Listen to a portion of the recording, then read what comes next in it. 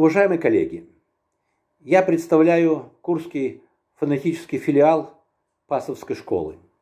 Так нас любил называть Ефим Израилевич, поскольку шесть человек нашей кафедры, защитившихся под его руководством, занимались в то время коммуникативным обучением произношению. Пасов всегда хотел, чтобы методика как можно более полно отражала естественные процессы. Еще в самом начале он определил, что коммуникативность в обучении – это моделирование естественного процесса общения.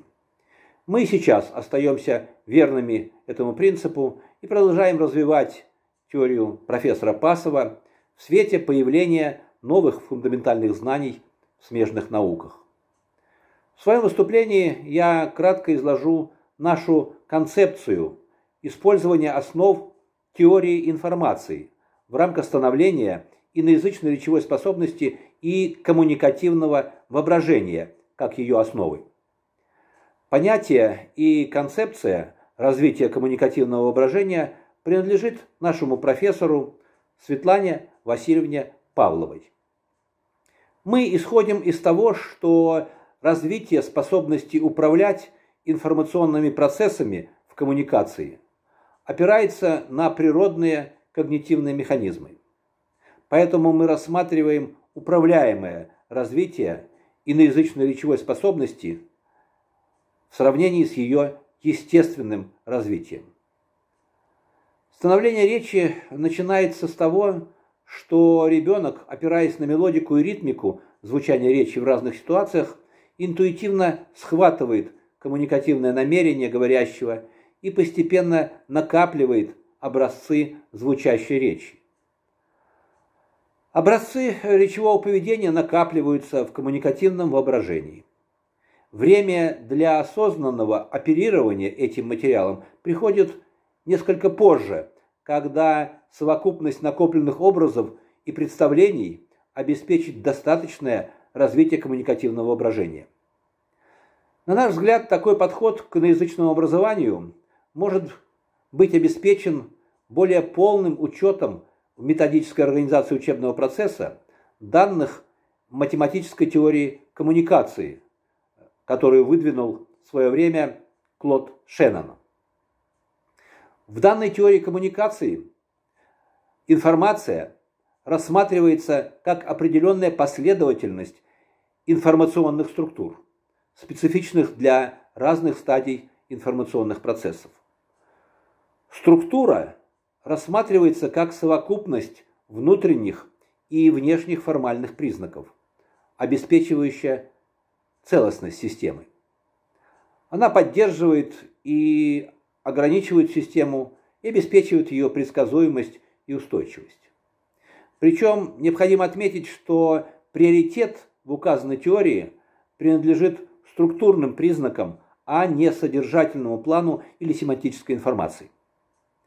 Как показывает анализ закономерности развития речевой способности, переход к действиям с информационным содержанием, таким как накопление, переработка, передача, получение и сохранение значимых данных, может быть эффективным только в условиях опережающего формирования последовательности информационных структур.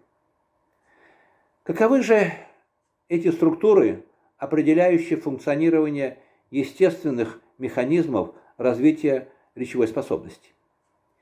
Первичными информационными структурами являются специфические характеристики речевого дыхания. До того, как ребенок начинает говорить на родном языке, он очень рано умеет отличать звучание речи от других шумов. На протяжении значительного времени, предшествующим э, попыткам заговорить, он четко реагирует на говорящих и сосредоточенно следит за их мимикой.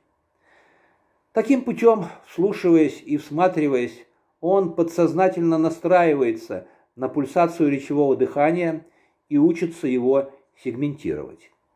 Известно, что речевое дыхание обладает специфическими признаками в разных языках. Совокупность характеристик речевого дыхания, специфичных для конкретного языка, формирует базовые информационные структуры, позволяющие в будущем идентифицировать поток звуков как речевой сигнал. Эти структуры обеспечивают устойчивость всей системы. На них будут настраиваться новые структуры при переходе к последующим стадиям развития речевой способности. Информационные структуры, регулирующие речевое дыхание, закреплены в геноме. Никто не учит ребенка дифференцировать биологическое и речевое дыхание, когда он начинает говорить. Умение переключаться на речевое дыхание развивается на основе инстинкта. Эти структуры – комплексные индивидуализированные образования, поскольку признаки речевого дыхания ассоциируются у ребенка с родными голосами и родными лицами. В методическом плане они формируют восприимчивость к ритмической и темпоральной организации иноязычной речи. Выпадение этих структур особенно заметно, когда мы слышим иностранца, говорящего по-русски. Структурный голод на этом уровне приводит к их замещению структурами родного языка, что искажает всю конструкцию и неприятно режет слух. Переход к следующей стадии формирования информационных структур позволяет идентифицировать отдельные сегменты звукового потока. Ребенок слышит и фиксирует, как по-разному звучат голоса в разных ситуациях. Восприятие сопровождается внутренней, а затем и внешней имитацией голосовых модуляций. На этой стадии ребенок осваивает операции голосообразования. Перерабатывая аудитивную информацию, имитируя и играя с ней, он накапливает образцы структурных модуляций голоса, которые ассоциируются с эмоциональным состоянием говорящего. Эти образцы отражают мелодические и ритмические структуры родного языка, которые служат для ребенка информационными структурами. Они формируют на перцептивном уровне алгоритмы интенсионно-ритмического оформления речи, которые навсегда остаются глубинной материальной основой коммуникативного воображения и источником развития всех речевых навыков и умений. Структурный голод или ограниченность потребления структур на этом уровне делает речь бедной, невыразительной и нечеткой.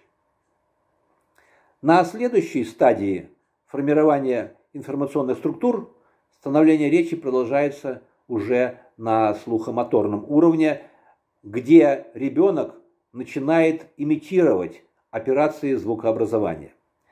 Он пытается координировать артикуляционные движения, имитировать э, какие-то э, структуры, звуки. Дети имитируют неосознанно.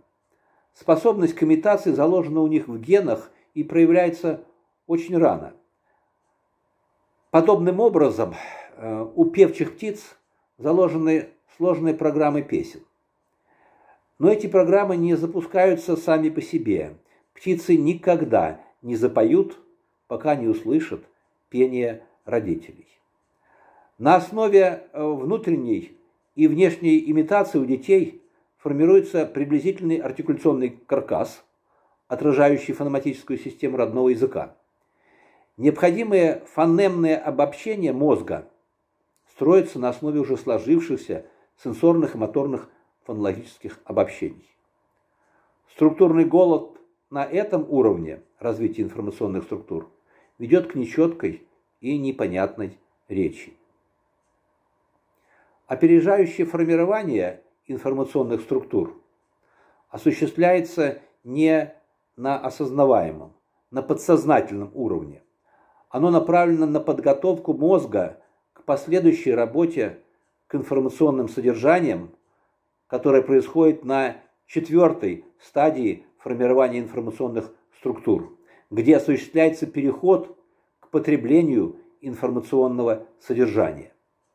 На этой стадии происходит накопление многоуровневых образов звучащей речи, которое ассоциируется с разными коммуникативными смыслами и представлениями. Ребенок не только учится воспроизводить знакомые истории, но и начинает создавать собственные. Подсознательная каталогизация и систематизация образцов речевого поведения, лежащие в основе коммуникативного воображения, закладывает основы речевой способности. В контексте ее развития коммуникативное воображение выступает как источник становления основ творческой речи.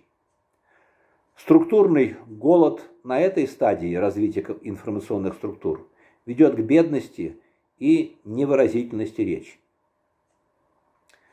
Таким образом, для эффективной работы с информационным содержанием необходима гармоничная совокупность информационных структур, которая открывает дверь для всего разнообразия информационного содержания.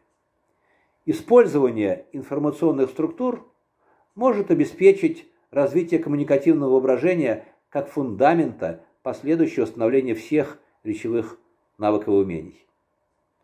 С учетом указанной концепции авторами была разработана серия учебников и пособий, которые успешно в разное время прошли апробацию в обучении в школе. Спасибо за внимание.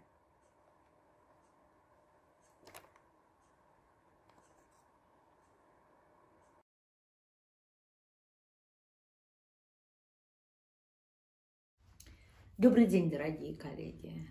Прежде всего, позвольте от имени школы Китайгородской поблагодарить организаторов этой конференции за приглашение. И особенно хочется сказать спасибо Владимиру Петровичу Козывлеву. И еще огромная благодарность вам, коллеги, за то, что вы подаете прекрасный пример того, как надо помнить и чтить своего учителя. Говорить о Ефиме Израилевиче и легко, и трудно одновременно – легко, потому что так много создал этот великий педагог, ученый, учитель учителей, философ и поэт.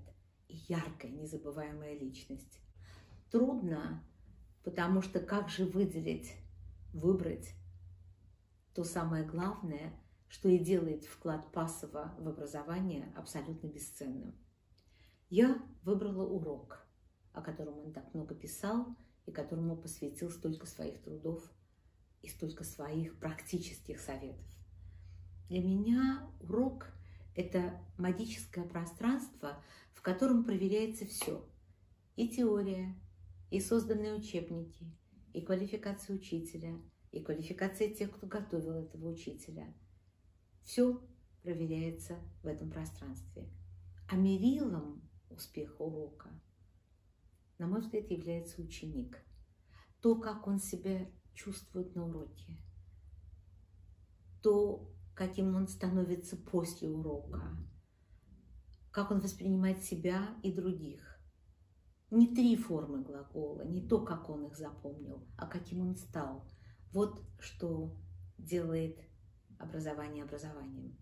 И именно поэтому из всех многочисленных очень ценных идей Ефима Израилевича Пасова, я, быть может, выделяю прежде всего его концептуальную идею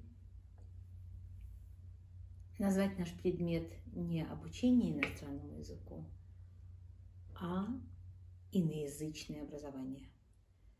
Образование через вхождение, погружение в культуру в ее широком значении с помощью иностранного языка – и это в равной степени относится к обучению и малышей, и младших школьников, и старших, и студентов, и взрослых, и всех тех, кто учит иностранный язык в течение всей жизни, потому что э, обучение образования, когда обучение становится образованием, востребовано всегда. И наш и предмет иностранный язык в этом огромное подспорье. Как вы знаете, определений культуры, о которой так много говорит Пасов, бесчисленное множество. В своей книге «Урок иностранного языка», написанной совместно с э, Натальей Ефимовной Козовлевой, Пасов пишет, что понимает культуру как систему духовных ценностей, воплощенных или не воплощенных материально, которые созданы и накоплены народом во всех сферах бытия, от быта до философии. Прекрасное понимание культуры, но важно ведь то, что он не только теоретизирует по этому поводу, а то, что он разрабатывает технологию иноязычного образования, а значит урок. В уроке иноязычного образования и в многочисленных типах упражнений, которые созданы Ефимом Израилевичем, и отражается его концепция. Мы все знаем, что, говоря о иноязычном образовании, ПАСа выделяет четыре аспекта – познавательный, развивающий, воспитательный, учебный. Слова так часто повторяются, что они уже утратили свое первичное значение. И вот профессор Пасов придает им вот новое звучание, глубинным пониманием каждого из них делится с нами, с учителями. И совершенно справедливо замечает, что учебный аспект предполагает овладение умениями речевой деятельности, языковыми явлениями, последствиями общения. И только этот аспект, одна четвертая всего, что он назвал, занимается именно языковыми явлениями. Значит, понятие иноязычное образование намного шире, чем понятие обучения иностранным языкам. Путь организации освоения учебного материала на уроке, который предлагает Пасов, звучит так. Культура через язык, язык через культуру. Это чрезвычайно близко тому, как трактует понятие образования мой учитель и мой руководитель, и сегодня наш руководитель школы Китайгородской Галина Александровна Китайгородская. Знаете, она часто повторяет, что наш предмет иностранный язык не имеет своего содержания. Грамматика, лексика, фонетика, фразеология, а, они могут быть содержанием для лингвистов, а для всех остальных это лишь средство общения – мы можем, мы должны наполнить свой предмет любым содержанием. И чем интереснее и значимее для каждого нашего ученика будет это содержание, тем выше результат и овладения языком, и, конечно, образование и образованность в целом. Ефим Израилевич Пасов и это его родниц Галина Александровна Китайгородской редкий пример ученого – очень ценный пример, который создает свою образовательную концепцию, но внедряет при этом ее в практику.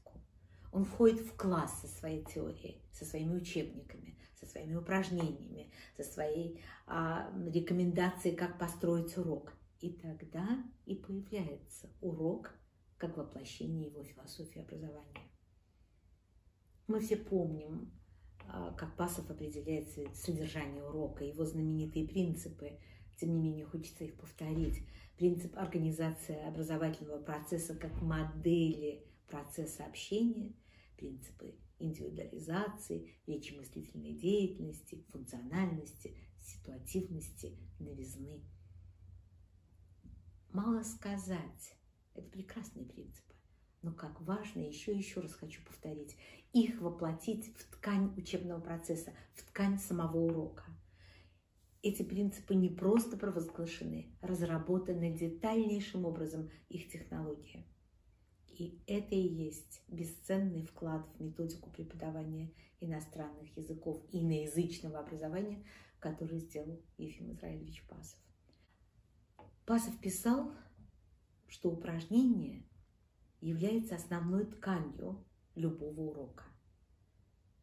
А Китайгородская пишет, что упражнение – это отрезок жизнедеятельности каждого обучаемого, пережитый совместно с другими в каждый данный момент урока. Другими словами, ткань жизни, ткань, кусочек жизни становится тканью урока упражнением, занизим немножко, но для нас понятно, что упражнение может быть живым, живым воплощением тех реальных ситуаций, с которыми встретятся наши ученики в жизни. А поэтому и урок станет живым. Таких перекличек Пасовой и Китайгородской очень и очень много. А они касаются, эти переклички, касаются логики и структуры урока, грамотного анализа урока. Совпадают взгляды этих ученых на роль учителя не только в образовании, в обществе, в нашей жизни. А совпадают взгляды на важность организации, иной организации повышения квалификации учителя. Они мечтали о необходимости полного изменения подготовки учителя в педагогических вузах. Ефим Израилевич и Галина Александровна знали друг друга долгие годы. В чем-то соглашались, поддерживали друг друга. О многом спорили до хрипоты, вместе восстали против ЕГЭ, всегда были одинаково преданы профессии и всегда ценили друг друга. Мне довелось несколько раз в последние годы присутствовать при их телефонных разговорах. Я в кабинете Китайгородской, звонит Ефим Израилевич, я встаю, чтобы уйти, Китайгородская жестом меня останавливает, и беспредельное мое восхищение тем, как эти мудрые, зрелые люди беседовали друг с другом, как они восхищались друг другом. Ты написал такую статью, ты так сказала, как они поддерживали друг друга и как они умели это выразить словами, интонацией, не взглядом, расстояние, но они чувствовали друг друга. Это был для меня еще один урок, урок уважения и мудрости. Прекрасно писал Пасов. Ценность хорошего урока в том, что из него можно извлечь много уроков. Благодарю вас за внимание, дорогие коллеги.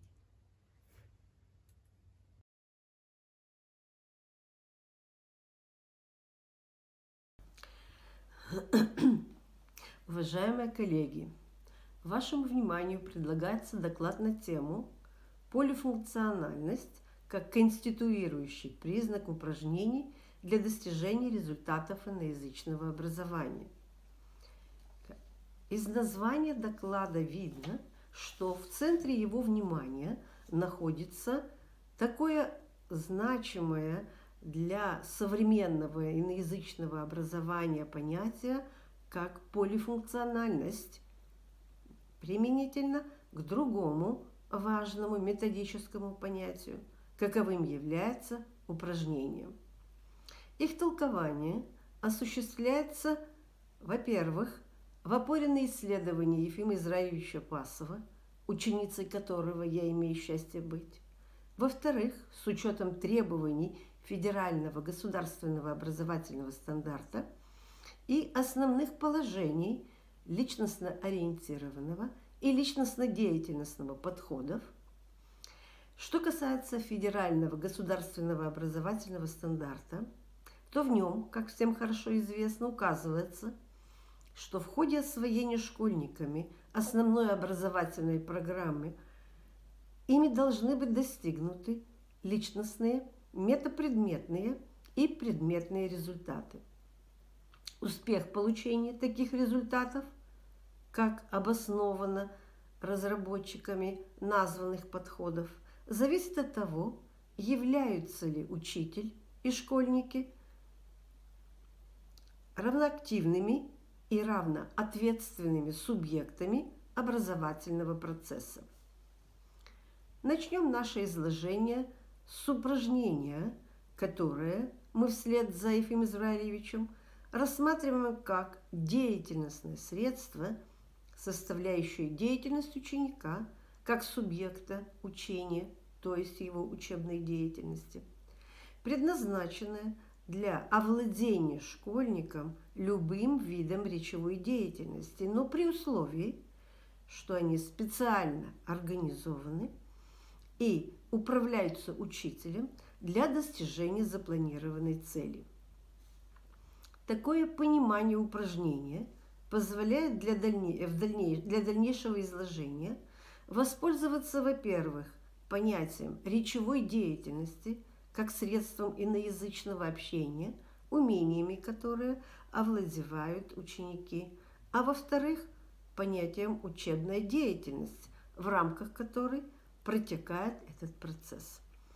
Итак, речевая деятельность – это активный, обусловленный социокультурной ситуацией процесс, процесс восприятия или порождения речевого сообщения, в ходе которого ее субъект решает определенную речемыслительную задачу с помощью речевых действий для получения запланированного продукта в виде умозаключения, устного или письменного высказывания и достижения ожидаемого результата, каковым может быть дальнейшее поддержание иноязычного общения. Здесь принципиальным для нас является тот факт, что для владения тем или иным видом иноязычной речевой деятельности ученики должны научиться выполнять присущие ей речевые действия, которые применительно к, достиж... к дисциплине иностранный язык выступают как ее предметные действия. Приобретение школьниками этих предметных действий происходит в ходе учебной деятельности, которая в работах российских психологов рассматривается как процесс решения учеником учебной задачи в предметной ситуации с помощью учебных действий по присвоению предметного содержания, направленный на достижение целей учебной деятельности, а именно заранее запланированных изменений в школьнике как ее субъекте. Исходя из универсальности учебной деятельности в работах современных исследователей, эти учебные действия стали называться универсальными и в соответствии с их функциями разделены на личностные и метапредметные универсальные учебные действия в составе познавательных, регулятивных и коммуникативных. Если личностные универсальные учебные действия обеспечивают заинтересованность учащихся в решении речи мыслительных задач и тем самым придают эм, усваиваемому содержанию личностную значимость, личностно значимый характер, то э, метапредметные действия отвечают за организацию и реализацию учебной деятельности школьников и их взаимодействие как с учителем, так и друг с другом для обеспечения учебного сотрудничества в ходе достижения образовательных результатов. Приведенное положение, значимое для представления нашего понимания упражнений как таковые и полифункциональные упражнения, в частности, дают возможность перейти к характеристике последних. Итак, далее мы будем вести речь о полифункциональных упражнениях как деятельностных средствах, способных выполнить несколько функций в иноязычном образовательном процессе. В методических работах определение полифункциональное применяется к упражнениям в том случае, если в ходе их выполнения ученики усваивают языковой материал с его параллельным включением в речевую деятельность, что позволяет одновременно формировать навыки, развивать умения, вносить вклад в совершенствование иноязычной коммуникативной компетенции. Как видим, такие упражнения направлены на достижение нескольких целей, но в ходе э, достижения школьниками только предметных результатах. В исследованиях Ефима Израильевича в то же время полифункциональность упражнения определяется совокупностью характеристик в составе, во-первых, полимодальности, когда задействованы все виды речевой деятельности, а во-вторых, полиаспектности, предполагающей участие всех компонентов иноязычной культуры, а именно познавательного, развивающего, воспитательного и учебного. Считаем, что это подтверждает нашу точку зрения о необходимости создания в упражнениях условий, нацеленных на взаимосвязанное достижение обучающимися предметных, метапредметных и личностных образовательных результатов. Именно такие упражнения в нашем исследовании э, определяются как полифункциональные. Охарактеризуем полифункциональное упражнение, руководствуясь критерием адекватности, также предложенным Ефимом Израилевичем Пасовым. Начнем с того, что качества полифункциональных упражнений должны быть соотнесены, во-первых, с содержанием намеченных целей и условиями их достижения. Во-вторых, определяться составом действий, необходимых э, ученикам для получения запланированных результатов. В-третьих, выполняться с помощью адекватных средств и способов. И, наконец, быть организованными учителем таким образом, чтобы обеспечить совершенствование этих действий, а также их свободное и точное выполнение в любой момент иноязычного образовательного процесса. В связи с перечисленным, первым параметром полифункциональных упражнений будет трехчастная цель в составе предметной – направленная на развитие умений говорения, аудирования, чтения и письменной речи как средства язычного общения. Личностный и метапредметный, предполагающих развитие личностных, регулятивных, познавательных и коммуникативных универсальных учебных действий. Вторым параметром, определяющим качество полифункциональных упражнений – будет соотнесенность предметных и учебных действий, выполняемых школьниками для достижения запланированных результатов, социокультурной ситуации общения и учебной речи-мыслительной задачи, которую они решают на разных этапах обучения иноязычному общению.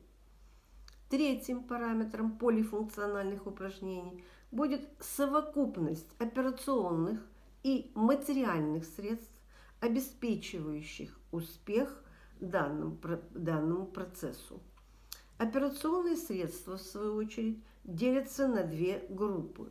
В первую группу входят э, речемыслительные действия, адекватные тому виду речевой деятельности, которым овладевают ученики. Они могут выполняться с помощью материальных средств, представленных вербально на иностранном языке, в виде речевых образцов, текстов, планов и тому подобного.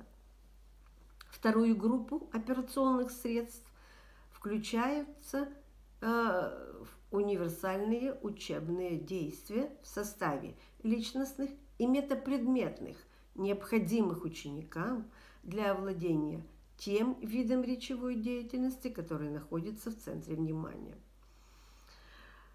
Материальным средством э, предъявления школьникам личностных универсальных учебных действий является учебное задание, в котором ученикам предлагается личностно значимая для них ситуация общения и адекватная ей учебная речь и мыслительная задача. Э, что касается материальных средств предъявления универсальных учебных действий, то в качестве таковых выступают памятки,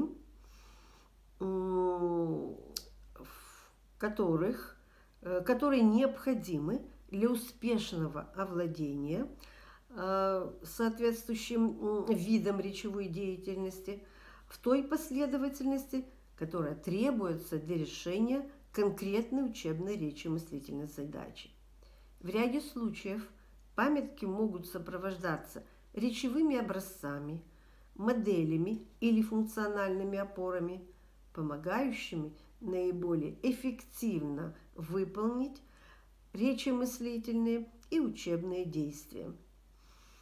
Реализация операционных действий, выполняемых с помощью перечисленных материальных средств, может осуществляться школьниками такими способами, как индивидуально, парах или группах, а также под руководством учителя, следуя, например, памятке или полностью самостоятельно. Представленные параметры полифункциональных упражнений, по нашему мнению, достаточно убедительно показывают, что названные упражнения способны включить школьников в активную учебную деятельность для взаимосвязанного освоения предметных и универсальных учебных действий, необходимых им в процессе овладения иноязычным общением. Чтобы такие полифункциональные упражнения могли успешно функционировать в любой момент иноязычного образовательного процесса, они, с одной стороны, должны быть организованы учителем, а с другой – давать ему возможность целенаправленно управлять действиями обучающихся. В связи с этим возникает вопрос, могут ли полифункциональные упражнения – также выполнять организаторскую и управленческую функции, являющиеся ведущими в деятельности учителя на современном этапе развития образования. Для ответа на этот вопрос обратимся к сути названных функций. Так, организаторская деятельность учителя направлена, во-первых, на актуализацию такой совокупности речи мыслительных и универсальных учебных действий, которые могут потребоваться обучающимся для решения поставленной учебной речи мыслительной задачи. А во-вторых, предполагает сосредоточение названных действий на достижении запланированной трехчастной цели. Организованная таким образом учебная деятельность приобретает функцию управляемости, предполагающую поддержание режима ее выполнения, упорядочивание речемыслительных и универсальных учебных действий на каждой фазе учебной деятельности и обеспечение поддержки обучающихся, если возникнут затруднения. Характеризуя параметры полифункциональных упражнений мы обратили внимание на то, что выполнить организаторскую функцию может помочь учителю учебное задание, которое он предъявляет на мотивационно-ориентировочной фазе учебной деятельности. Именно в нем содержится личностно значимая для ученика ситуация общения и адекватная ей учебная речь и мыслительная задача – предназначенные для демонстрации значимости нового материала, его соответствия потребностям и интересам школьников, а также для активизации ранее усвоенного и набора речи мыслительных и метапредметных учебных действий, требующихся для достижения поставленной трехчастной цели. В свою очередь памятки – как материальное средство осуществления универсальных учебных действий, дают возможность учителю управлять учебной деятельностью школьников, поскольку в них описываются предметные и сопровождающие их учебные действия, необходимые ученикам для овладения речевой деятельностью, и описываются они в той последовательности – которая требуется для решения конкретной речи мыслительной задачи. Более того, присутствующие в памятках функциональные опоры могут помочь ученикам выполнить эти действия качественно и безошибочно, создавая тем самым ситуацию успеха. Подчеркнем, что содержание названных материальных средств как средств организации и управления, используемых учителем, подбирается им с учетом условий обучения, каковыми являются этапы обучения иноязычному общению и психолого-педагогические особенности и индивидуальности учеников той или иной ступени обучения. Суммируя изложенное, определим полифункциональное упражнение как деятельностное средство, которое организуется учителем на владение школьниками иноязычным общением с помощью совокупности речи мыслительных и универсальных учебных действий, управляемых и реализуемых адекватными материальными средствами и способами выполнения – в ходе решения обучающимися учебных речи-мыслительных задач в ситуациях иноязычного общения с целью достижения ими предметных, личностных и метапредметных образовательных результатов. По нашему мнению, применение полифункциональных упражнений в иноязычном образовательном процессе – обеспечит не только достижение школьниками образовательных результатов, но и внесет вклад в становление их индивидуальности как активных, творческих и ответственных субъектов межкультурного взаимодействия. Спасибо за внимание.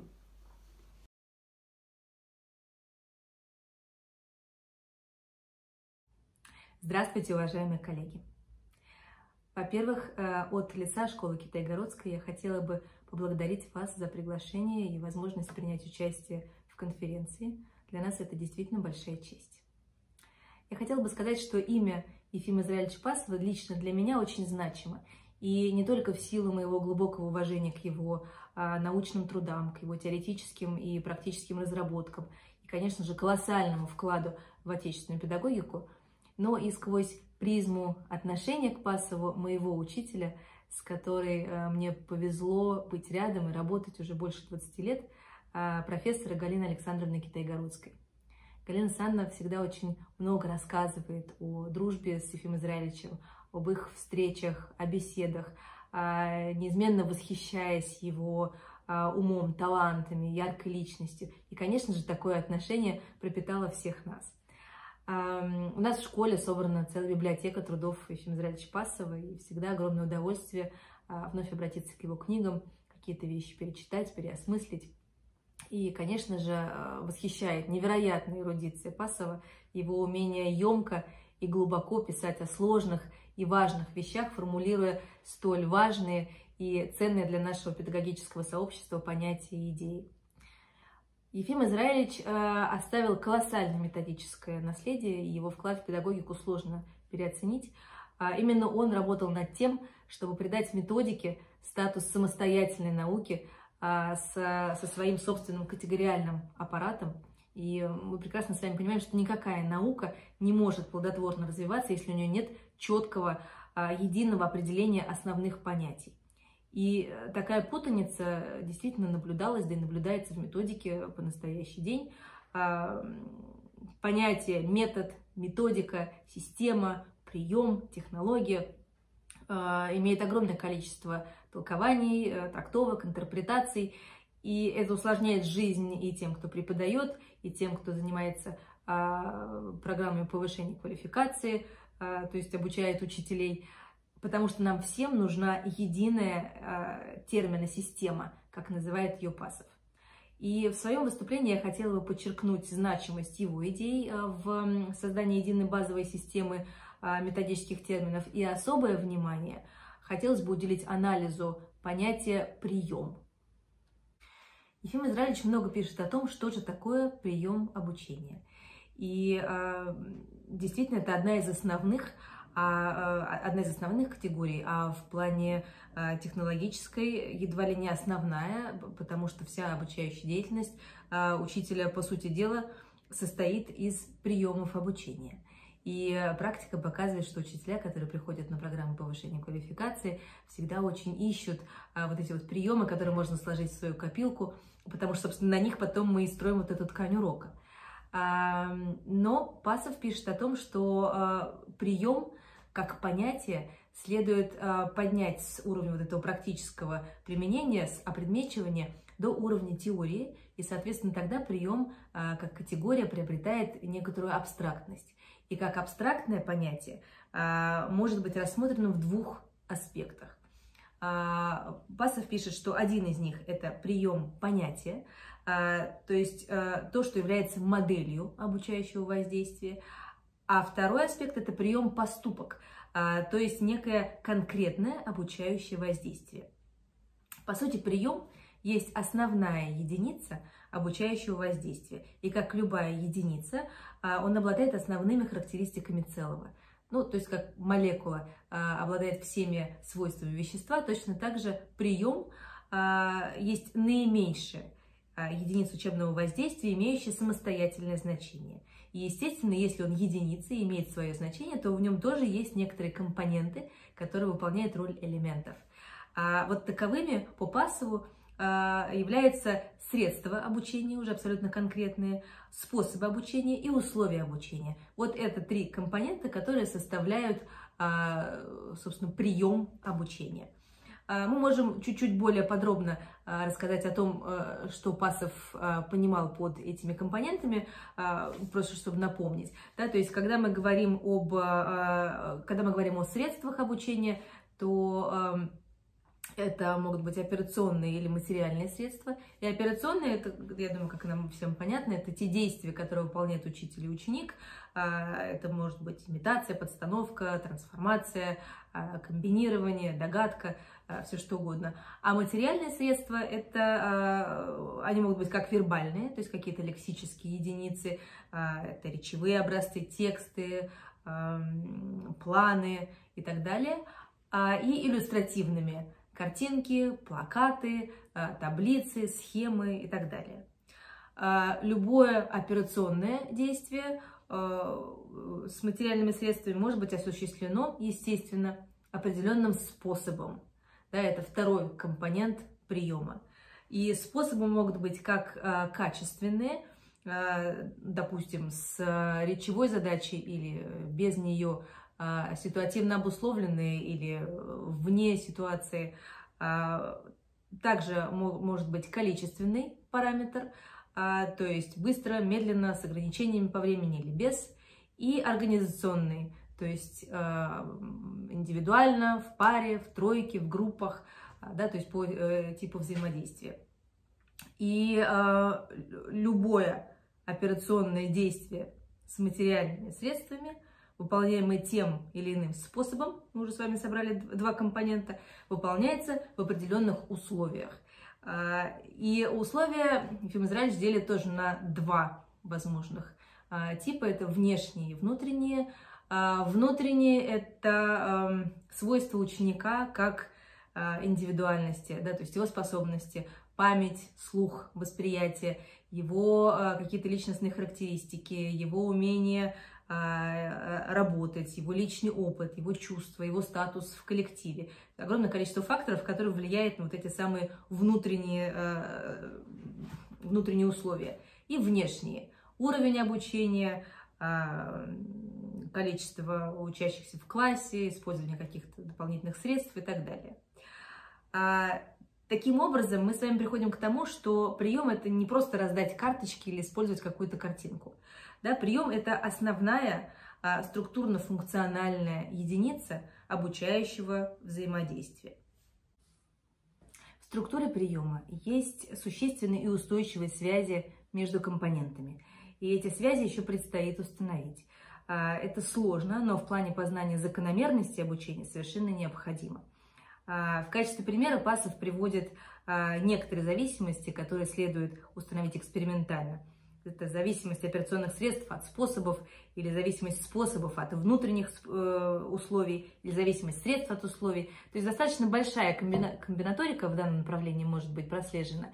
И э, исследования, э, конечно же, необходимо продолжать для того, чтобы э, развивать методику именно как самостоятельную науку, именно со своим э, собственным детально разработанным категориальным аппаратом, и пониманием всех взаимосвязей, компонентов и элементов основных понятий.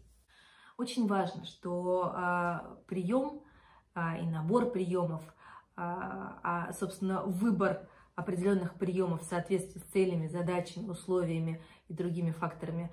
Это есть определенная платформа для творчества преподавателя – а выбор этих приемов должен осуществляться, конечно же, осознанно. И в данном случае работа Пассова, в которых он описывает э, подробно, а, из чего состоит прием, а, как его следует использовать, прием как единицу обучающего воздействия. Конечно же, невероятно важно для любого преподавателя, который хочет понимать, собственно, на чем он строит весь свой процесс, почему именно так, а не иначе. А в школе Китайгородской мы уже несколько десятилетий проводим программы повышения квалификации преподавателей. И к нам приезжают учителя э, из различных городов, из различных э, стран. А, и, конечно же, им очень интересны различные приемы, и мы ими всегда с удовольствием делимся. Мы рассказываем, как мы вводим новый материал, как мы, как мы его тренируем, что мы делаем на этапе контроля. А, как мы работаем с аудированием, с текстами, с письмом, что мы делаем с музыкой, с играми. Мы даем им очень-очень много приемов, но а, очень важно показать, и я думаю, что а, об этом писали, собственно, и Ефим Израильевич Пасов, и Галина Санна Китайгородская, что всегда за приемом, ней подход, и все это должно строиться на базе принципов метода. А, то есть это целостная система. И очень важно, а, чтобы преподаватели а, не просто использовали отдельные приемы, а именно работали в рамках понимания общего подхода, общей системы. Тогда э, обучение переходит на качественно иной уровень. Можем добиваться совершенно другого э, порядка результатов. А, и я бы хотела сказать, что, конечно же, а, работа Ефима Израильевича Пасова невероятно важна для а, каждого из нас, для всех э, преподавателей, для педагогов, для методистов, потому что иметь возможность говорить на одном языке, иметь возможность разрабатывать нашу науку, методику, в которой мы проводим эксперименты, в которой мы выдвигаем теории, гипотезы, защищаем их или опровергаем. Конечно же, это невероятно важно и невероятно интересно. А, это позволяет вывести на новый уровень а, программы повышения квалификации преподавателей, а, соответственно, как следствие а, повышается уровень образования и уровень преподавания. Я думаю, что такие конференции, как эта, должны стать регулярными, чтобы э, специалисты, методисты а, могли встречаться, обмениваться своими идеями, своими практическими, теоретическими разработками, а, делиться результатами экспериментов, а, чтобы мы вместе продолжали дело, для которого так много эм, уже э, создал Ефим Израильевич Пасов. И я благодарю вас всех за внимание и очень надеюсь на новую встречу. Спасибо.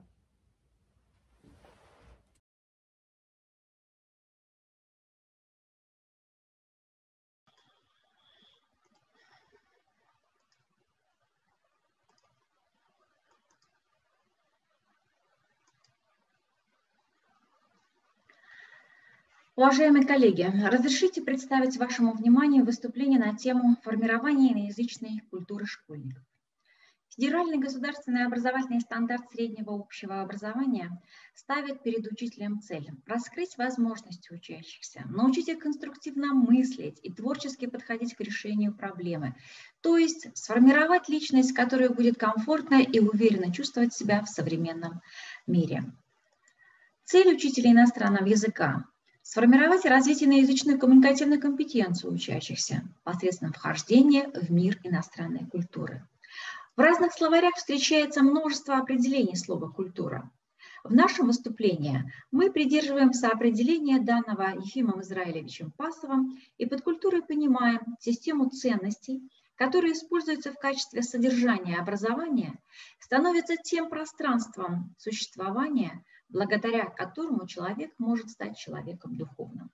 Согласно Пасову, процесс образования – это процесс передачи культуры, а процесс иноязычного образования – процесс передачи иноязычной культуры. Обучающийся может овладеть иноязычной культурой в процессе коммуникативного иноязычного образования. Иноязычная культура является источником иноязычного культурного образования в его четырех аспектах. Познание, которое нацелено на овладение культурологическим содержанием иноязычной культуры, развитие, освоение психологическим содержанием, воспитание, постижение педагогическим содержанием, учение, познание а, социального содержания иноязычной культуры. Компонентами содержания являются культурологические, психологические, педагогические и социальные.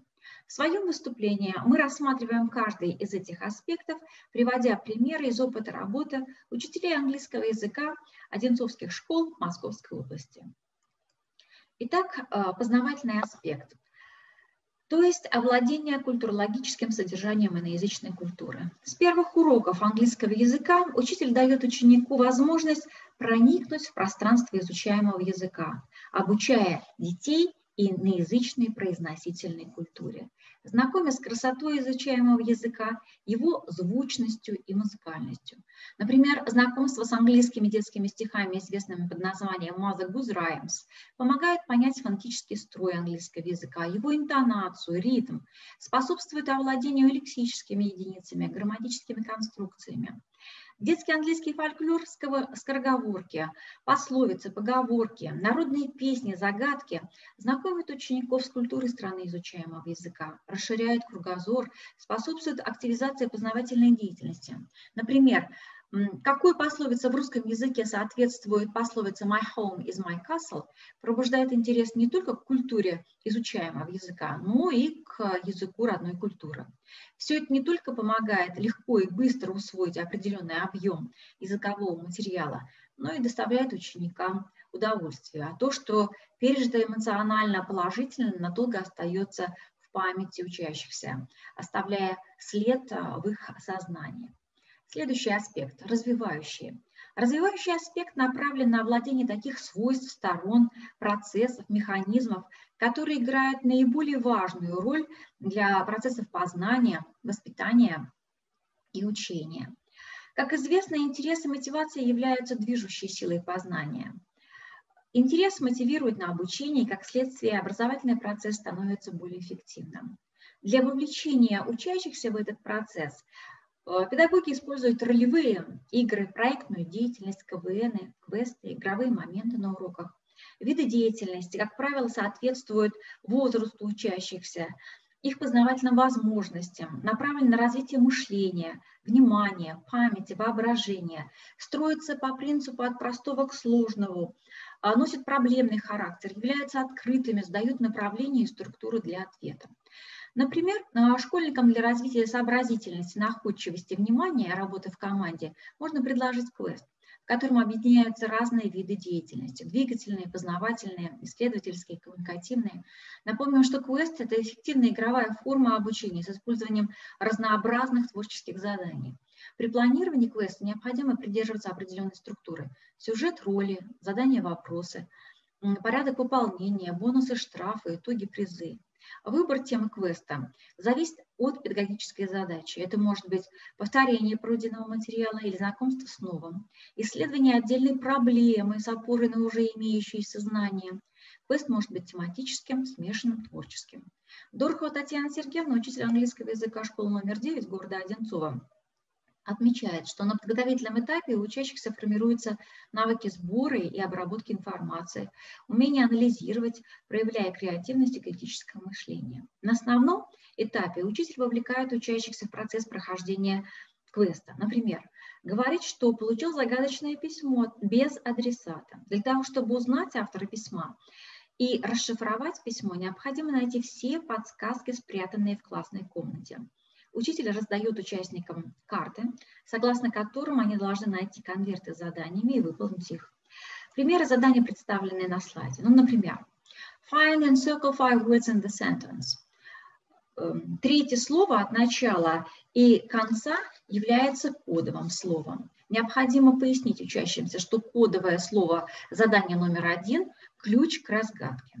Ответы на определенные задания могут учащимся, помогут учащимся э, расшифровать загадочное письмо и определить автора письма. На заключительном этапе подводятся итоги, обсуждаются результаты, анализируются э, выявленные ошибки. Воспитательный аспект. Воспитательный аспект связан с культурой и, понимание, и понимается как процесс становления, обогащения и совершенствования духовного мира человека через творческое наследие всей доступной культуры. Согласно концепции Пасова, язык – неотъемлемая часть культуры. Культура есть система духовных ценностей, которые созданы и накоплены обществом во всех сферах бытия. Изучая культуру и национальные особенности страны, учащиеся формируют социокультурные портреты страны изучаемого языка, выявляют различия и сходства в культурах, решают проблемы, проблемные культурологические задания. При этом не следует забывать о родной культуре учащихся, привлекая ее элементы для сравнения. Тема русские и английские праздники, традиции и обычаи занимает особое место. Для того, чтобы узнать, насколько хорошо школьники знают английские и русские традиции и праздники, в одной из школ города Одинцова магистранткой факультета лингвистики МГИМО Харламовой Таисией Валентиновной был проведен эксперимент. Учащимся а, предложили ответить на вопросы. Почему мы отмечаем праздники?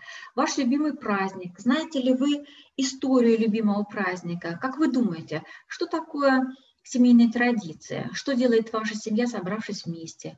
А также what English holidays do you know, what English traditions do you know, when do Englishmen celebrate New Year's Day, St. Valentine's Day, Halloween, Christmas Day. По результатам осуществленного эксперимента было выявлено, что 36% учащихся считают, что в празднике мы чтим и храним традиции. 27% вспоминают важное историческое событие. 18% встречаются и общаются с родственниками, друзьями. 19% считают, что в празднике люди веселятся и развлекаются. Новый год, конечно, 90% учащихся ответили «любимый праздник». Собравшись вместе, 33% респондентов трудятся, чтобы поддержать заинтересованность в заботах и успехах каждого члена семьи. 25% отмечают, что делятся впечатлениями о прошедшем дне, об увиденном, услышанном, о важных событиях. Выяснилось, что учащиеся знают, что the English are tea drinkers, 99%. At tea time, the English like to have a cup of tea with meal, 82%. English people like to live in small houses with small gardens, 64%. Englishmen are very fond of fireplace, 21%. В ходе анкетирования выявлено, что традиции, обычаи и праздники Великобритании и России имеют как сходство, так и отличия. Результаты анкетирования были использованы при разработке интегрированного урока Let's Celebrate по МК Spotlight для шестого класса издательства «Просвещение» по развитию творческих способностей и мышления учащихся. Учебный аспект. Содержание учебного аспекта составляют те речевые умения, которыми должен овладеть учащийся как средствами общения, то есть говорением, аудированием, чтением, письмом, возможно, переводу, а также самим умением общаться. Обучение через деятельность, learning through doing, ведет к овладению искусством коммуникации. Радислав Петрович Мильрут, анализируя современные тенденции в образовании, подчеркивал, что с помощью тренировочных приемов обучения школьники усваивают готовое содержание, а с помощью проективных заданий они учатся творчески создавать содержание обучения и усваивать его. Проект «Изучаем фразовые глаголы» был организован и осуществлен учителем английского языка гимназии номер 4 города Одинцова Шафарстовой Яной Павловной. Интерес к теме «Изучаем фразовые глаголы» не случайен. Существует великое множество фразовых глаголов, образование которых не подчиняется ни одному правилу. Фразовые глаголы постоянно используются в разговорной речи, поэтому без них сложно понимать собеседника или улавливать смысл прочитанного в книге. В ходе реализации проекта учащиеся выявляли самые часто употребляемые фразовые глаголы, изучали происхождение фразовых глаголов, занимались поиском пословиц, поговорок, загадок, рифмовок с фразовыми глаголами, переводили на русский язык эти пословицы, поговорки. Для лучшего запоминания применяли мнемотехнику. Итогом деятельности учащихся является создание наглядного учебного пособия по фразовым глаголам. Подводя итог, отмечаем, что учитель, учителю необходимо приобщать учащихся к иноязычной культуре, к основополагающим ценностям и установкам. Для этого он должен использовать задания и виды деятельности, способствующие проявлению интереса к владению языком, формированию положительного отношения к иноязычной культуре. Спасибо за внимание.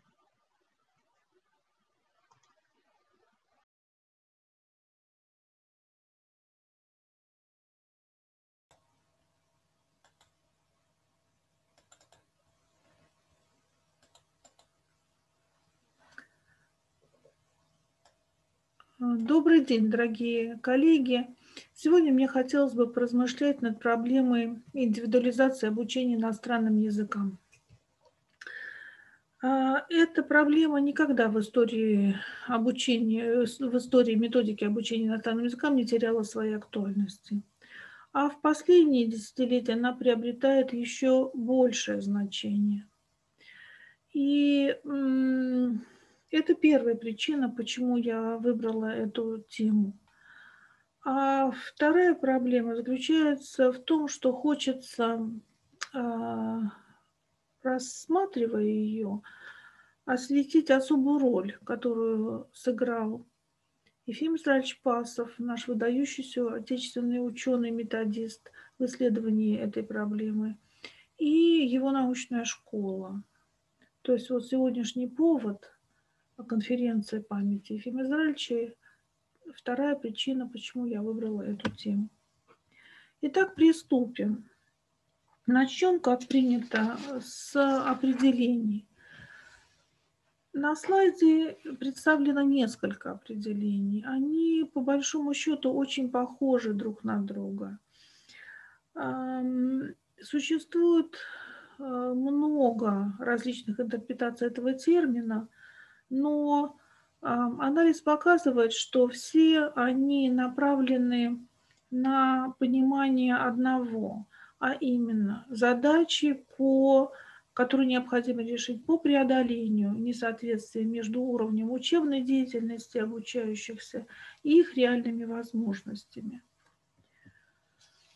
А, первым ученым, можно так сказать, Первым исследователем проблемы индивидуализации обучения иностранным языкам был Фердинанд де Сассер, наверное, который разделил язык и речь. И с того момента мы прекрасно понимаем, что сам процесс обучения языку является индивидуальным, и мысль порождаемая индивидуаль, и всегда индивидуальной, поэтому обучать языку надо сообразно с этим пониманием последующие десятилетия эм, и в зарубежной методике, особенно в рамках э, разработки устных методов обучения иностранным языкам, были предприняты попытки практической реализации э, и процессов индивидуализации. Создавались даже учебные пособия, в которых имелись несколько текстов одного содержания, адаптированных под разные категории обучающихся, либо к одному тексту, э, в другом вот пособии предлагались упражнения различные э, по уровню сложности, мы бы сейчас сказали, и под различные категории обучающихся. И в отечественной методике тоже уже с самых первых шагов ее становления обращалось внимание на а, э, индивидуализацию – Выдающийся наш один из первых методистов, ученых Ирина Алексеевна Грузинская говорила, что как можно а, обучать ученика чему-либо, если ты его не знаешь. И в этой связи, конечно же, а, анализ литературы показывает, что а, представлено много различных трактовок – но вот мне не удалось обнаружить эм, сколько-нибудь системного, описанного, а, представленного концептуально положения, касающегося индивидуализации обучения иностранным языкам до книг Ефима Израильевича Пасова. А, на мой взгляд, эм, вот впервые мы в коммуникативной методе, коммуникативном методе обучения иноязычному говорению или говорению на иностранном языке видим принцип, сформулированный принцип индивидуализации, а, как закон, регламентирующий э, методическую деятельность, преподавательскую деятельность и деятельность учебную самого ученика. А, Ефим Израилевич выделяет два момента в понимании принципа э, индивидуализации. Прежде всего, это адаптация э, учебных материалов, которые преподаватель осуществляет под различные категории обучающихся. А с другой стороны, это деятельность самого обучающегося по обучению себя иностранному языку. И а, согласно принципу индивидуализации у обучающегося должны быть для этого какие-то средства, средства методической поддержки, которые тоже хорошо разработаны в, а, в концепции принципа индивидуализации в трактовке Ефима Израильевича Пасова и его научной школы. Последующие годы учениками, многочисленными учениками и соратниками Ефима Израильевича а, эта проблематика разрабатывалась подробно и в теоретическом плане. В частности, были представлены различные виды индивидуализации. И в практическом плане, вот э, с точки зрения методических памяток, советов, э, различных видов схематического представления материала для как помощи, средств помощи обучающимся в процессе обучения языку, тоже такие разработки многочисленные были сделаны и учеными, и учителями, практиками, что, в общем-то, показывает роль а, исследователей, действующих в рамках данной научной школы, в исследовании данной проблемы. Мы знаем, что э,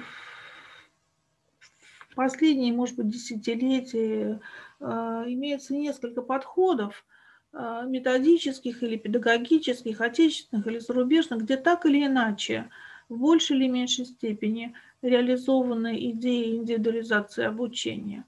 И в отечественной методике тоже такие подходы известны, как э, целые системы педагогические. А, я должна сказать, что все они а, в определенном объеме базируются на идеях, высказанных э, Ефимом Израильевичем Пасовым, и сейчас это а, эти идеи выглядят, э, звучат как аксиома для э, каждого методиста. Не буду останавливаться на характеристике этих подходов, это не входит сегодня в мои задачи. А, только скажу, что вот практика реализации этих подходов, уже опыт, накопившийся с годами обучения в рамках данных подходов, э, показывает, что но, наверное, не все проблемы еще успешно решены, э, что есть э, круг вопросов, которые требуют дальнейшей разработки, что иногда что-то не получается в рамках вот э, заявленных положений, заявленных основ реализации принципа индивидуальности, индивидуализации. И ну, здесь названо несколько моментов, которые э, исследователи высвечивают в своих работах. И это свидетельствует, свидетельствует только об одном, о том, что требуются дальнейшие, дальнейшие разработки в этом направлении. Э, что же можно предложить или что предлагается в плане индивидуализации сегодня – по мере накопления опыта практической деятельности, а, которая обобщается в работах исследований, мы видим все больше и больше возникает каких-то понятий в определениях индивидуализации ранее не свойственных э, этому явлению. Некоторые из них представлены здесь на слайде, и они выводят или вводят наше внимание совершенно в другую плоскость, ориентируют нас на понимание индивидуальности несколько, в несколько ином плане. А, ну, понятно, что а, все это современная терминология, и она связана с а, новой образовательной парадигмой, которая, в общем-то, уже теперь не новая, она просто образовательная парадигма сегодняшнего дня. И не вдаваясь в характеристики, конечно же, новой этой образовательной парадигмы, а, мы все прекрасно понимаем, что речь идет о а, так или иначе представленных, но подходах, в центре которого, которых находится сам ученик. Не учебный процесс, не тем паче не личность обучающего, а личность обучающегося. И если мы попытаемся обобщить а, все те все эти э, подходы, которые э, имеют своей целью, в фокусе имеют в своем личность обучающегося, и рассмотрим, как предлагается индивидуализировать учебный процесс, то мы поймем, что а, вот сегодня индивидуализация а, отходит от понимания процесса адаптации учебного материала или всего целиком учебного процесса под обучающегося через определенные формы, методы обучения, понимается не как э, процесс внешний по отношению к ученику, направленный от учителя к ученику, и все больше фокусируется на понимании индивидуализации как а, создании пространства, обеспечении пространства для развития ученику. Через присвоение внешних факторов, интериоризацию их, и это пространство ну, представляет, представляет собой внутренний такой ресурс или потенциал обучающегося – которые можно раскрыть и следует раскрывать в процессе обучения а, э, с целью, конечно же, обеспечения самому обучающемуся вот того поля, той зоны развития, которую каждый может иметь, которую действительно каждый из обучающихся имеет, и раскрывая факторы, эм, внутренние факторы, а, потенциал, потенциальные факторы, можно сказать, обучающегося – а в учебном процессе, в данном случае по иностранным языкам, мы помогаем ему становиться образованным человеком, становиться человеком во всех его ипостасях и индивидуальности, и личности, и субъекта своей собственной деятельности. А, что еще можно сказать в, в данном плане? Это, вот этот слайд, он а, фактически нечитабельный, и содержание его а, – это предмет следующего уже разговора. В данном случае это просто как иллюстрация, как картинка к тому, что, что же составляет это пространство развития а, обучающегося в ходе обучения иностранному языку или средствами иностранного языка. Ну вот здесь несколько представлено тех самых моментов, которые, компонентов содержания обучения иностранному языку, которые и составляют процесс, пространство развития обучающегося. В данном случае в качестве примера приведены, приведены, приведено обучение иностранному языку студентов неязыкового вуза. А что, при, что присваивается, что развивается в процессе, вот в, в, в пространстве развития студентов неязыковых вузов, личностном пространстве каждого из студентов, ну и, и в определенном плане групповом. Это несколько компонентов, конечно же, структурированных И вы их видите, некоторые из них представлены в левой колонке. Это ценностные ориентации и поведенческие стереотипы, и стереотипы речевого и неречевого поведения – мотивы, ну и, конечно же, социально и профессионально значимые личностные качества, которые приобретают обучающиеся, э, используя иностранный язык как средство э, собственного развития. Таким образом, э, заключая подходя вот к завершению своего выступления и заключая его, могу сказать, что сегодня индивидуализация понимается как проектирование э, вот этого ментального или образного представления о пространстве развития обучающегося. Индивидуализация понимает как реализация возможностей каждого обучающегося, каждого индивида – для, а, опять же, реализации с целью достижения цели саморазвития. Именно вот в данном контексте, на мой взгляд, и следует сегодня понимать а, проблему индивидуализации. Как обеспечить индивидуальное развитие обучающихся средствами иностранного языка? Ну вот здесь указаны некоторые компоненты содержания этого процесса реализовывая данные компоненты содержания, развивая соответствующие умения и навыки и компетенции в целом, мы обеспечиваем условия для вскрытия вот этого, этих внутренних потенциалов, раскрытия этих внутренних а, факторов, и, а, которые способствуют тому, что человек развивается. И второй момент, который я хотела бы здесь затронуть, касается того, что такого общего, более, вывода более общего плана.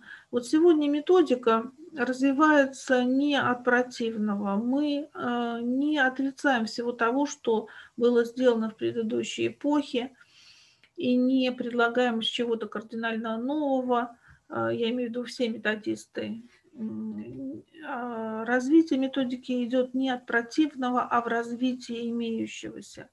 И вот э, в реализации принципа индивидуализации мы видим наглядный пример э, этого тезиса, потому что идеи сегодняшнего личностного развития, обучающегося средствами иностранного языка, они не противоречат принципу индивидуализации. Они развивают, конкретизируют, уточняют определенные положения и отдельные положения, и э, выводят эти положения в контекст сегодняшней, сегодняшней ситуации в образовании.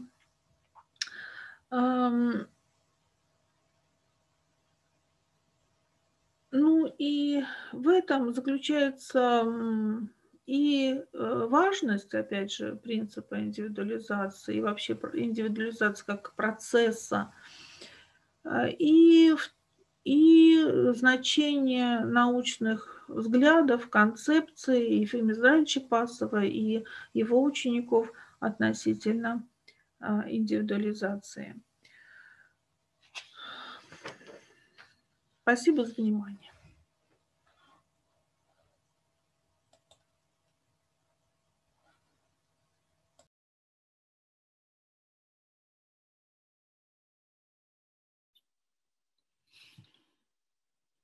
Уважаемые коллеги, тема моего выступления а, мотивация как основа индивидуализации образовательного процесса в методе активизации личности и коллектива или в методе, который известен как метод Китай-Городской. Гуманизация является одной из основных характеристик современного образовательного процесса. Гуманизация предполагает, с одной стороны, расширение гуманитарного поля знаний для специалистов всех областей, а с другой стороны, индивидуализацию обучения, его ориентацию на конкретного человека на уважение к индивидуальности человека, внимание к его личности.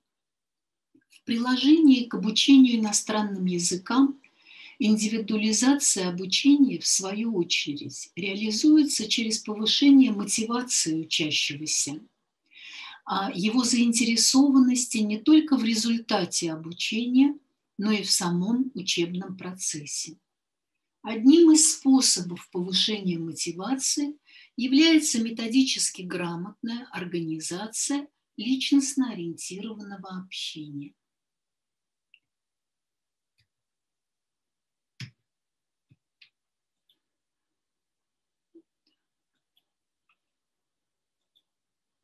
Психологии мотивация определяется как побуждение к деятельности, к реальному поступку. Это совокупность побуждающих факторов, которые определяют активность человека.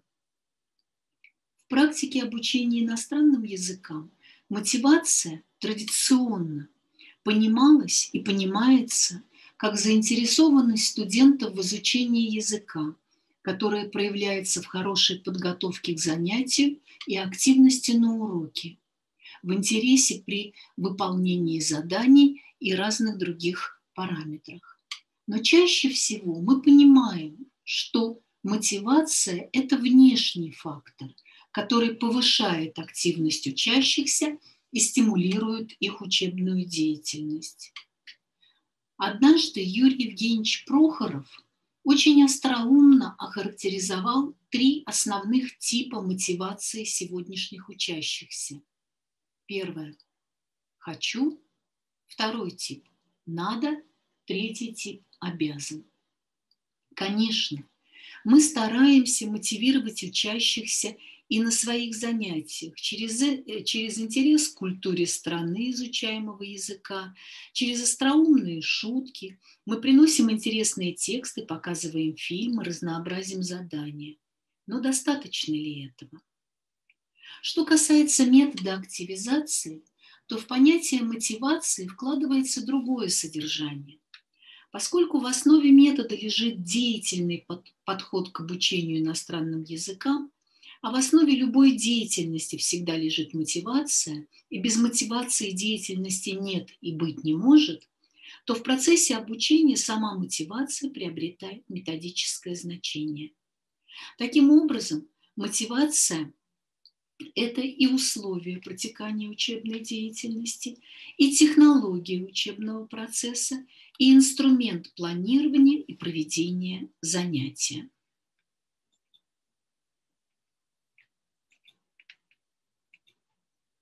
Отвечая на вопрос, чему мы обучаем студентов, что является предметом обучения, мы единодушны в этом в ответе. Мы говорим о том, что предметом обучения на занятиях иностранного языка является речевая деятельность на этом иностранном языке. Но хорошо ли мы понимаем, что это означает и какая разница между языком и речью? Конечно, мы все знаем, что язык – это система знаков, это форма, а речь – это смысловая задача, это персонифицированное содержание, которое передаю я и воспринимаю я. Это может быть устная или письменная форма, но это всегда что, которое передается как, с помощью одной или другой системы знаков. То есть, грубо говоря, речь – это одновременно что и как, а язык – это как. Тогда задание типа «Заполните пропуски», «Вставьте окончания», «Распрягайте глаголы», «Разыграйте по ролям диалог», «Найдите в тексте ответ на вопрос», «Перескажите текст» и так далее – это задания языковые потому что в этот момент мы занимаемся языком, то есть решаем языковую задачу и думаем о языке. То есть и предметом, и содержанием деятельности является форма. Это как плюс как. А речевая деятельность – это когда мы думаем о смысле, о том, что мы хотим сказать, что нужно ответить, и при этом облачаем это «что» в новую, незнакомую для нас форму. Другими словами, речь – это всегда одновременно решение двуединой задачи. Это совмещение формы и содержания.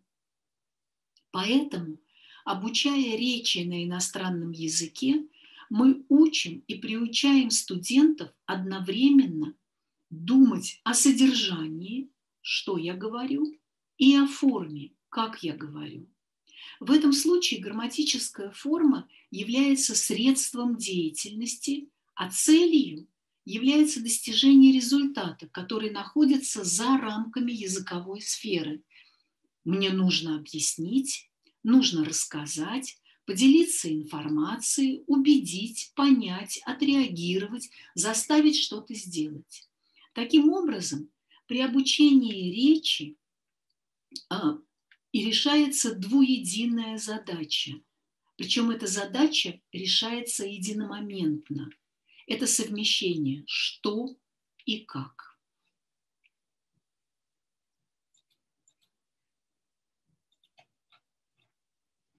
Суть метода активизации возможностей личности и коллектива заключается в специфической модели обучения.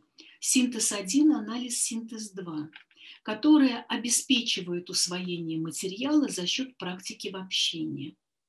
Это общение максимально приближено к жизни и происходит в различных ситуациях, построенных на употреблении изучаемых коммуникативных единиц. Поскольку времени сейчас немного в моем распоряжении, я не буду подробно останавливаться на деталях работы метода Галинсанны Китайгородской. Но что важно отметить, что в этом обучающем общении мотивация является и условием протекания учебной деятельности, и технологии организации учебного процесса – и инструментом планирования и проведения занятия. Я попробую сейчас раскрыть это положение и объяснить каждый из пунктов. Постараюсь сделать это как можно короче. Итак, мы сказали, я сказала, что условием, что мотивация является условием протекания учебной деятельности. В методе активизации личностное общение – это, что называется, наше все. Это то, чему мы обучаем. Это то, с помощью чего мы обучаем, поскольку в основе курса лежат полилоги, в которых заложен необходимый нам лексико-грамматический материал. И это как мы строим курс вообще и урок в частности – это всегда групповое взаимодействие.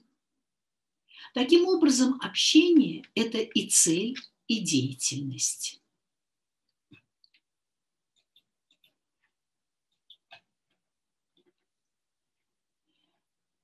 Я сказала, что в методе активизации мотивация – это технология. Что такое технология? Технология – это совокупность приемов и методов. В методе активизации вся эта совокупность подчинена основной задаче – спровоцировать и стимулировать, а это значит мотивировать общение. Технологически это значит создать множество мотиваций, самых разных по своей природе и форме, множество причин действовать, множество поводов к размышлению и выражению своего мнения, своей позиции, а также множество вопросов, на которые хочется ответить. Таким образом, задача преподавателя состоит в том, чтобы создать это множество ситуаций, когда студент не может молчать, когда ему хочется говорить и хочется высказаться.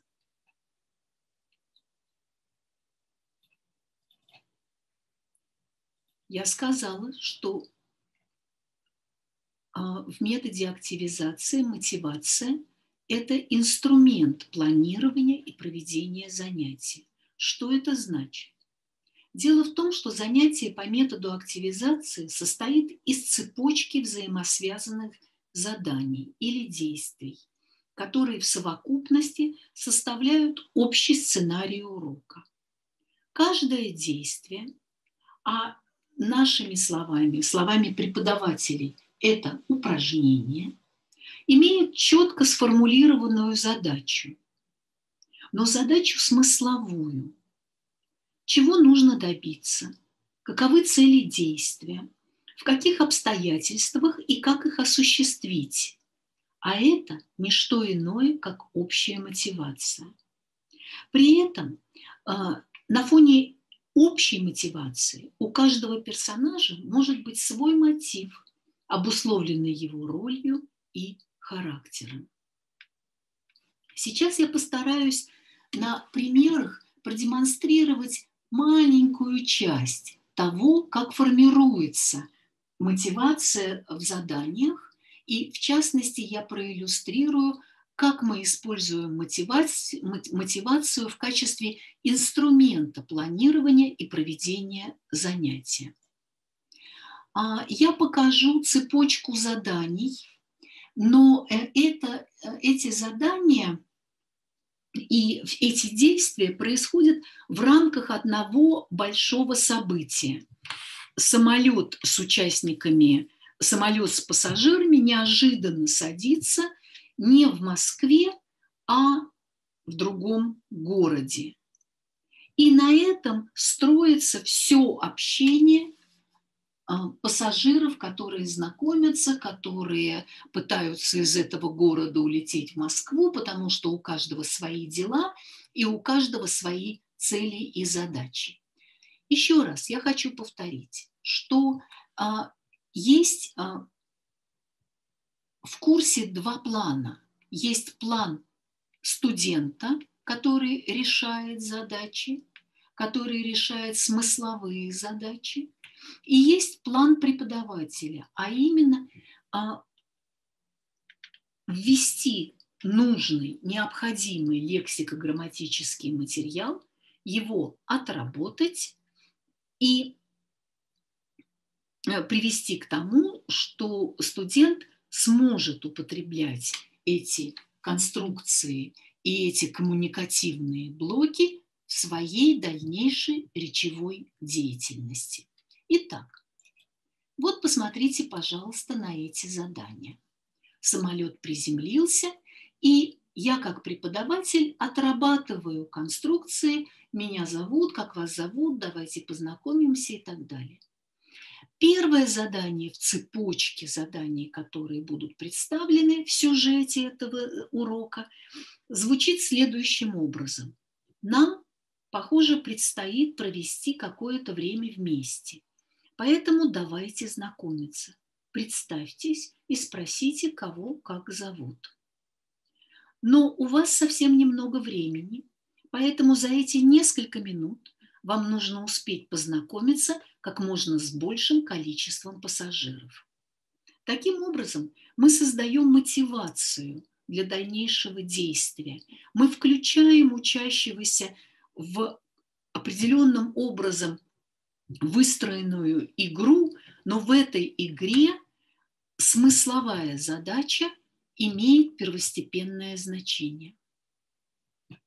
Далее. Мы отрабатываем конструкции, как ее зовут, мы идем дальше, и мы отрабатываем конструкции, как ее зовут, как его зовут, о, я знаю и так далее. Как это задание можно вести? Как можно мотивировать учащегося это все повторять? Вы помните, вы познакомились, узнали, запомнили, кого как зовут? Ну, конечно, нет. Тогда обменяйтесь информацией, спросите уже знакомых, запомнившихся вам людей, кого они знают. И вводится модель. Скажите, вы не знаете, а кто эта красивая девушка, кто этот серьезный мужчина? Но, извините, Но одного имени, конечно же, недостаточно. Всегда хочется узнать больше, не правда ли? Что мы делаем? Мы наращиваем материал, но мы мотивируем это наращивание материала за счет формулировки даже не задания, а формулировки задачи, которую предстоит решить учащемуся. Я пролистаю дальше слайды и проговорю следующие задания, что обычно люди делают с секретами.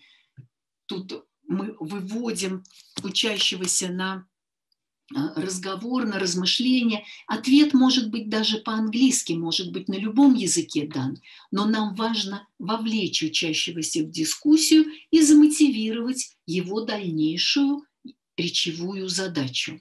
Конечно, как только мы узнаем секреты, мы их тут же рассказываем. Сначала рассказываем самым близким друзьям, потом рассказываем друзьям уже не таким близким и просто знакомым, и даже незнакомым. Поэтому расскажите своему соседу все, что вы только что узнали из беседы.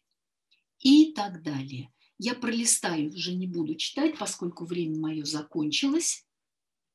Я пролистаю быстро а, слайды для того, чтобы вы могли их посмотреть. Вот посмотрите, пожалуйста. Дальше в чемодане находятся все, все пассажиры проходят таможню.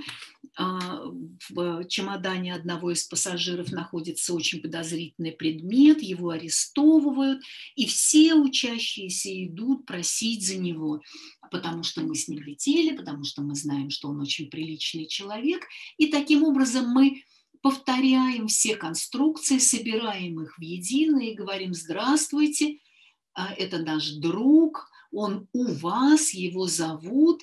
Таможенник плохо слышит, поэтому он переспрашивает все время, а вы кто, как вас зовут, сколько вам лет, меня зовут, а кто вы по профессии и так далее.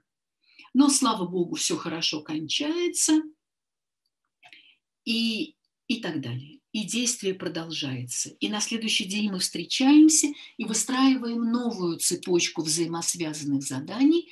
Каждое, опять, не заданий, извините, не заданий, а речевых задач, а, каждая из которых имеет свою мотивацию. И таким образом мотивация, я Э, является неотъемлемой частью методической системы обучения иностранным языкам. Она может присутствовать на самых разных уровнях, но главное, что она присутствует абсолютно в каждом задании, которое правильно, которое сформулировано правильным образом, э, таким, чтобы вовлечь учащегося э, в решение коммуникативной задачи и заинтересовать его а, тем, что он будет делать. А, несмотря на то, что э, мотив... несмотря на то, что все, о чем я говорила, иллюстрировалось на примере метода активизации возможностей личности и коллектива, я абсолютно уверена, что даже в занятии по традиционной модели а, это может быть использовано, и это а, очень поможет стимулировать мотивацию учащихся. Спасибо большое за внимание. Желаю всем здоровья.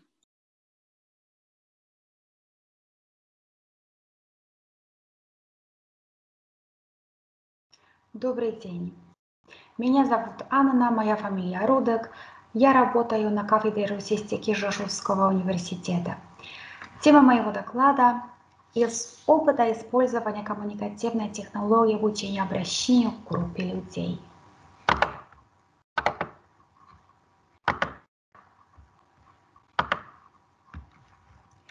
Особая роль в речевом поведении принадлежит речевому этикету – это понятие толкуется как часть этикета, как совокупности правил цивилизованного поведения людей, а именно система устойчивых выражений, в которой сосредоточен общепринятый порядок культурного речевого общения.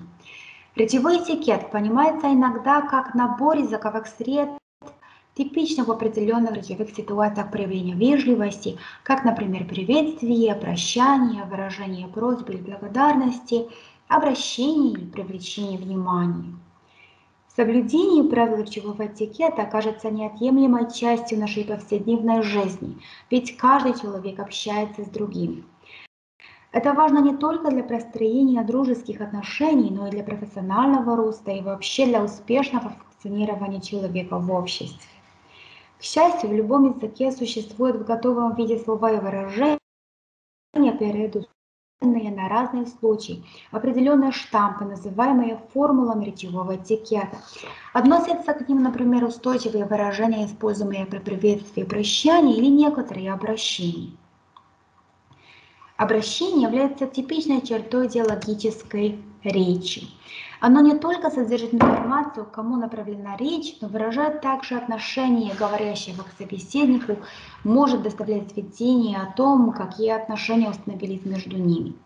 Итак, адресатные формы – это языковые показатели межличностных отношений, соединяющих членов определенной общественной группы. Они выполняют две обычно накладывающиеся одна на другую коммуникативные задачи. Апеллятивную, то есть функцию призыва, свойственную прежде всего обращением, открывающим реплику, и экспрессивную, которая может тоже называть, которую можно тоже назвать оценочно характеризующей. К основным функциям обращения следует отнести также обеспечение установления речевого контакта между собеседниками, то есть между говорящими, выделенным из общей массы слушателей лицом. Однако бывает и так, что обращение направляется не к единичному адресату, но к группе людей. Именно такие адресатные формы подвергаются анализу в настоящем докладе. Рассмотрим два примера.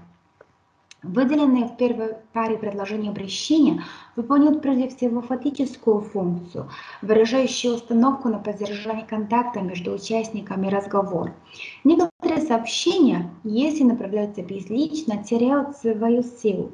Добавляя к высказыванию адресатную форму, мы устанавливаем конкретное направление, по которому оно двигается, поэтому более вероятно, что они достигнут цели.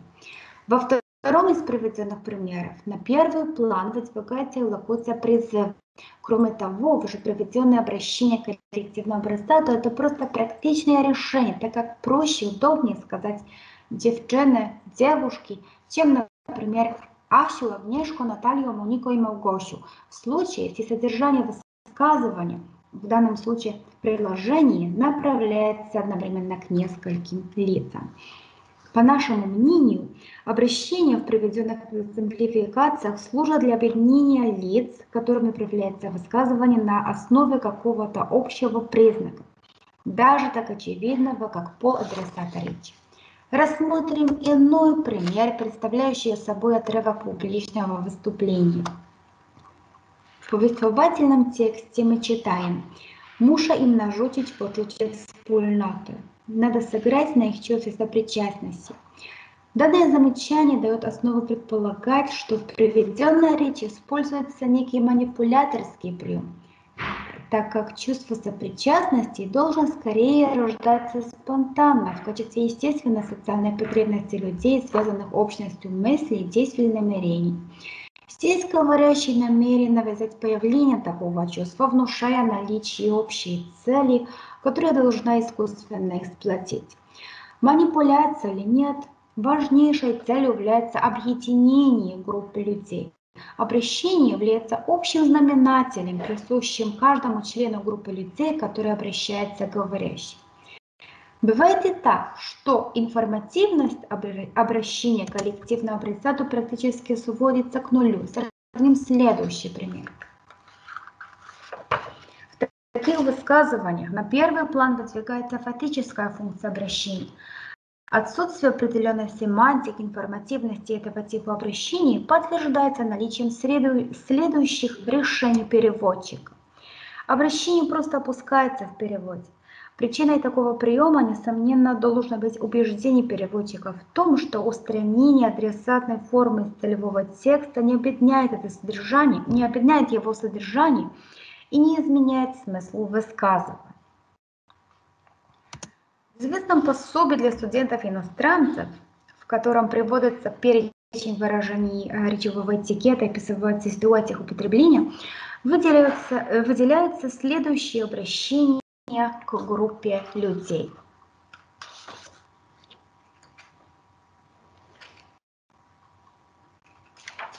Организуя учебный процесс, следует помнить, что иноязычная речь должна отражать реальное коммуникативное поведение. В реальной, коммуникати... в реальной коммуникации потребность общения вызывается ситуацией, необходимостью решения целей и задач, стоящих перед ее участниками. Неситуативные высказывания, как правило, не вызывают реакции собеседника, так как речевые единицы, лишенные ситуативности, являются для собеседника незначимым.